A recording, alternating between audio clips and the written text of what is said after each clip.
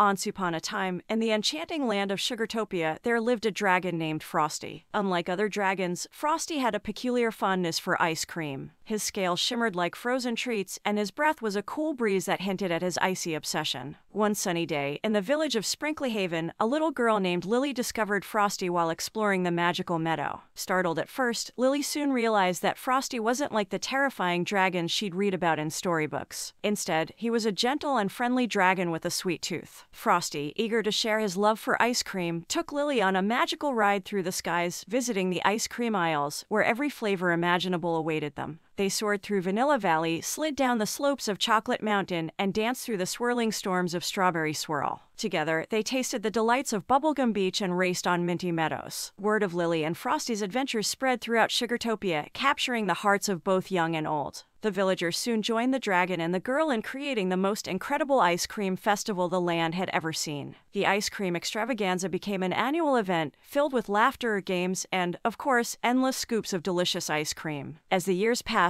Frosty and Lily's friendship grew stronger. They faced challenges together, like the day the Great Meltdown threatened to turn Sugartopia into a puddle. With bravery and teamwork, they saved their sweet world and made it even more magical. One day, as Frosty watched the sunset with Lily, he realized that their adventures had created a bond that would last a lifetime. The once unusual dragon had found a place in the hearts of the villagers, and Lily had discovered a friend who made life as sweet as the most delightful ice cream cone. And so, in the heart of Sugartopia, Frosty and Lily lived happily ever after, surrounded by the joy and warmth that their unique friendship had brought to the magical land of ice cream dreams.